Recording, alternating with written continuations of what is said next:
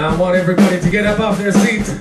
Put your arms together, your hands together, and give me some of that old soul clapping.